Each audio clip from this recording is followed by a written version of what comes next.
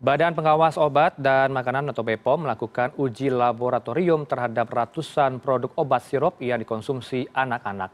Dari jumlah itu, sebagian orang atau sebagian obat nyatakan mengandung zat berbahaya, dietilen glikol, DEG, dan etilen glikol atau EG. BPOM kembali merilis hasil uji laboratorium pada ratusan obat sirup untuk anak-anak ada 133 produk yang diuji. Hasilnya obat-obat ini dinyatakan tidak menggunakan empat larut propelin glikol, polietilen glikol, sorbitol, dan gliserin. Sedangkan dari 102 daftar obat yang diserahkan ke Menkes, ada 23 obat yang tidak menggunakan empat pelarut. Tujuh obat aman digunakan sepanjang sesuai aturan pakai dan tiga dinyatakan mengandung ED dan DEG melebihi batas aman.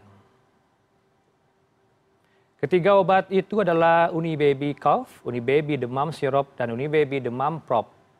Tiga produk ini sebenarnya sudah dirilis oleh BPOM. Di luar itu masih ada 69 produk yang masih dalam proses uji. Kepala BPOM Penny K. Lukito mengatakan batas akan standar internasional cemaran ED dan DEG yakni 0,5 mg per kilogram berat badan per hari.